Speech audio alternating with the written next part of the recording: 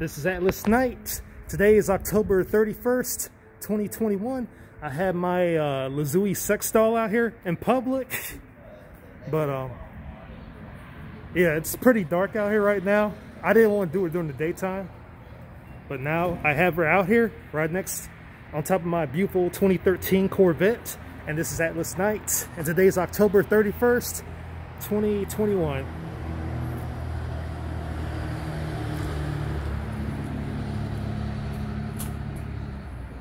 She's actually looking really good.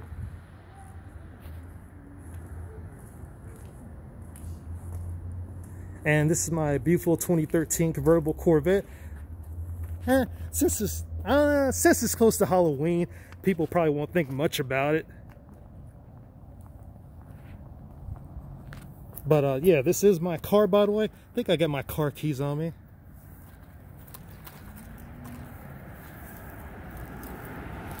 Got them lighting up right here, the beautiful LEDs, the aftermarket Morimoto headlights.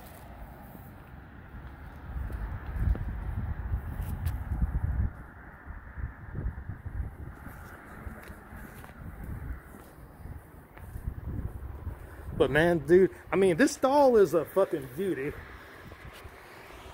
Like, seriously, she really is.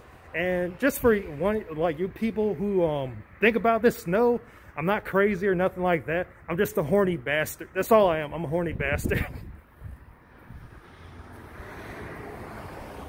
I mean, hell, bro. I mean, in all seriousness, why go to a bar and pay hundreds of dollars every Friday and Saturday night to try to get inside a girl's pants when you could just buy yourself a $1,500 sex doll from the doll channel? But anyway, though, uh, I'm to go up here to the casino and make a YouTube video, a little prank video, and see how the people react to this doll at the casinos. Anyway, though, this is Atlas Night.